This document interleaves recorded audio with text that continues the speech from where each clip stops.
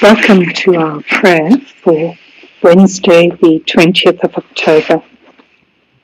This is a prayer from St. Ignatius of Loyola.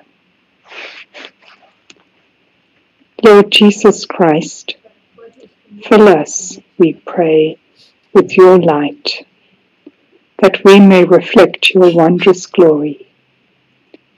So fill us with your love that we may count nothing too small to do for you, nothing too much to give, and nothing too hard to bear.